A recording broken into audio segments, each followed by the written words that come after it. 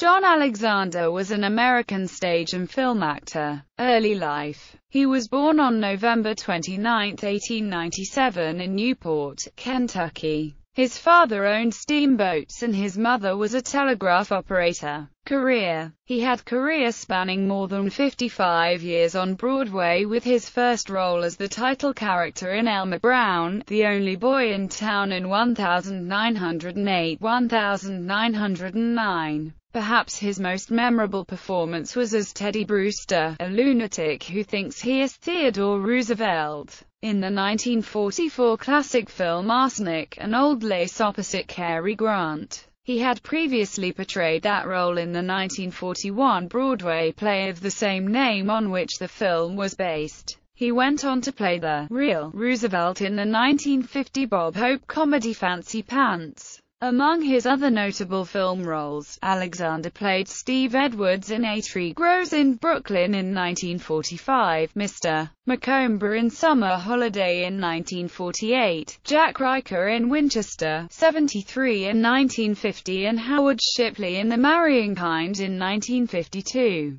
During the 1950s and early 1960s, he guest-starred on television series, such as The Phil Silvers Show, Adventures of the Seahawk and Car 54. Where Are You? Alexander's last performance was as Mayor Crane in the Broadway comedy Never Too Late, a role he had played since 1962. John Alexander died on July 13, 1982 in New York City. Partial filmography Baby Take a Bow, Flowing Gold, Mr. Skeffington, Arsenic, and Old Lace, The Doughgirls, A Tree Grows in Brooklyn, The Horn Blows at Midnight, Junior Miss, The Jolson Story, It Shouldn't Happen to a Dog, New Orleans, Living in a Big Way, Cass Timberlane, Where There's Life, Summer Holiday, Night Has a Thousand Eyes, Fancy Pants, Winchester, 73, The Sleeping City, The Model and the Marriage Broker, The Marrying Kind, The Man in the Net,